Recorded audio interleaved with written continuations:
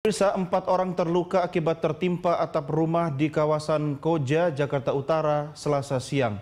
Atap rumah roboh akibat tertimpa material bangunan setelah hujan dan angin kencang menerpa wilayah tersebut.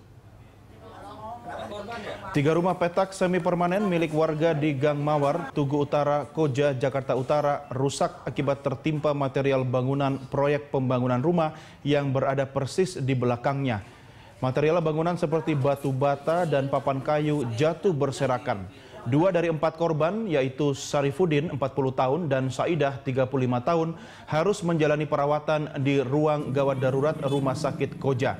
Sementara itu, sebuah papan reklame berukuran 16 kali 8 meter ini jatuh dari tiang setinggi 30 meter. Robohnya papan reklame ini juga menimpa sebuah mobil yang sedang parkir persis di bawahnya. Beruntung tidak ada korban jiwa dalam peristiwa ini, namun jalan Sungai Bambu Tanjung Priok ditutup sementara. Korban